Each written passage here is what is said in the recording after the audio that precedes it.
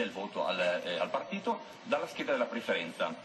In questa scheda noi permettiamo al cittadino di esprimere una preferenza a un candidato anche diverso dalla, dalla forza politica votata. Ciò significa che si può essere un candidato ad esempio che porta una clientela, che porta una collusione con la mafia, che prende moltissimi voti, moltissime preferenze, ma un partito votato sull'altra scheda che prende pochi voti, tante preferenze che non si trasformano in un seggio in Parlamento, ciò significa eliminazione, limitazione forte del voto di scambio che secondo noi è un effetto veramente importante che non è mai capitato. Questo sistema elettorale che cos'è che porta poi? Ad una vicinanza eletto-elettore. Noi la otteniamo facendo 42 circoscrizioni intermedie, medio-piccole, una media di 15 seggi dove l'elettore conosce quindi il proprio candidato e il voto rimane all'interno della circoscrizione e si trasforma in un seggio per i candidati solo presenti nella circoscrizione votata, quindi vicinanza eletto-elettore l'eletto deve rispondere alle istanze dell'elettore, altrimenti non verrà più eletto in una successiva tornata. Non ci siamo ovviamente dimenticati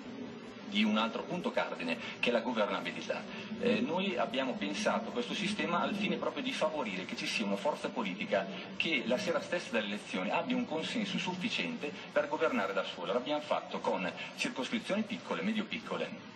un divisore corretto molto, eh, molto, selettivo e una soglia di sbarramento molto alta, piuttosto alta, superiore anche al 5% all'interno della circoscrizione, che comporta una cosa semplicissima, la limitazione enorme di un problema grossissimo che abbiamo noi, che porta ingovernabilità, che è la frammentazione partitica. Nel nostro sistema i partiti piccoli o possono prendere seggi esclusivamente nelle circoscrizioni grandi, in quelle piccole ovviamente con uno sbarramento molto alto non li prendono e quindi si devono fondere. Ciò significa che dopo le elezioni ci sarà una rosa di, di partiti molto, molto più limitata e che porta che? Ad una governabilità sana, una governabilità stabile. Perché questo? In assenza delle prime maggioranza non ci sono coalizioni, quindi anche un partito forte non è costretto come con i sistemi con premio e maggioranza a chiamare insieme in coalizione molti altri partiti per un solo fine, che è il premio e maggioranza e quindi la spartizione delle poltrone. Corre da solo il partito nel nostro sistema al suo progetto politico, al suo progetto elettorale e con quello si presenta all'elettorato e può anche vincere da solo. Io termino con un esempio semplicissimo, con i sistemi con premio di maggioranza eh, li possiamo intendere come eh, la maggioranza come un amministratore di un condominio molto litigioso, con il nostro sistema invece come fosse il padrone di un condominio in cui si sceglie gli inquilini, ciò significa governabilità stabile e duratura. Grazie all'attenzione. Teniamo solo a dire, prima di ascoltare ovviamente voi, che questo non è una proposta che portiamo a scatola chiusa, crediamo che abbia molti valori perché viene da una consultazione con i cittadini e vorremmo sentire prima di tutto voi che cosa ne pensate, quali possono essere le varie osservazioni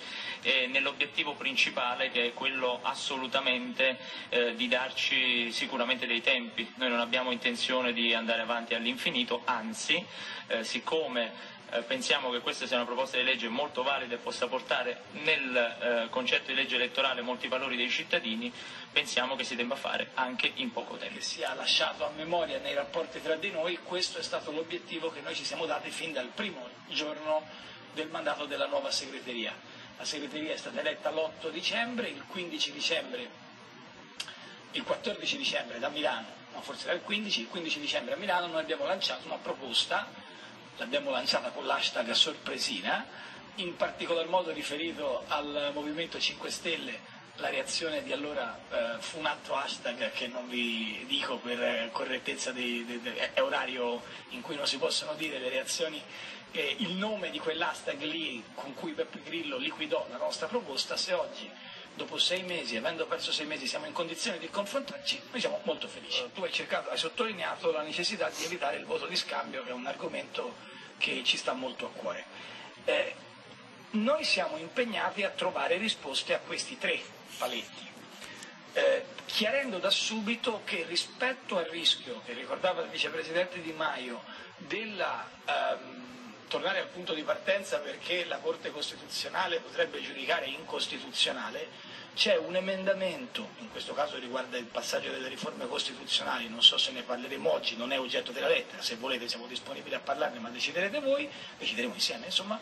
che è firmato da un deputato, primo firmatario Roberto Giorgis, se non vado errato, un deputato del PD, che dice che la legge elettorale potrebbe essere, proprio per evitare problemi, oggetto di un controllo di costituzionalità preventiva da parte della Corte Costituzionale. Questo risolve il problema, nel senso che ciascuno di noi ha le sue idee sulla costituzionalità o meno della legge, se c'è un organismo, quale la Corte Costituzionale, che ce lo dice subito, il problema è risolto. Nel merito, ora ciascuno di noi ha le sue leggi elettorali, per cui se ci mettiamo noi quattro, noi del PD abbiamo quattro leggi elettorali diverse, probabilmente Speranza sarebbe un proporzionalista puro, eh, beh no, forse noi tre saremmo più maggioritari, ognuno di noi ha le sue valutazioni, a Serracchiani gli piace quello delle regioni, a me quello dei sindaci, ognuno ha le sue idee. È chiaro che dobbiamo fare uno sforzo per capire se le proposte vanno bene. Il punto della Toninelli bis, cioè dell'iniziativa del 6 maggio 2014, Torinelli, Cozzolino, Dadone, D'Ambrosio, Dieni, Fraccaro, Lombardi e Nuti, che voi avete scritto nella lettera del Democratellum, è secondo noi eh, molto interessante per tanti aspetti, ma è gravemente deficitaria sotto il profilo della governabilità. E provo a vedere se le considerazioni che faccio sono sbagliate, magari mi, mi, mi correggete se, se sto dicendo cose che non sono esatte. Mi spiego. Noi pensiamo che la sera delle elezioni si debba sapere chi ha vinto ed eventualmente siamo pronti a introdurre il ballottaggio, cioè un secondo turno, che a quel punto dà garanzie totali, perché se tu non hai ottenuto il quorum al primo turno, eh, hai comunque la possibilità del ballottaggio.